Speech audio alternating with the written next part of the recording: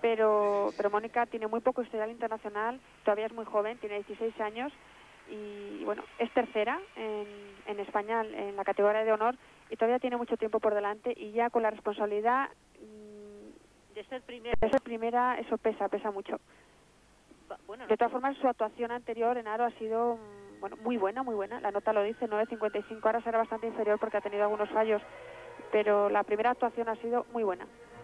De todas maneras, Mónica Fernández cumplirá los 16 años la semana que viene, el día 25 exactamente.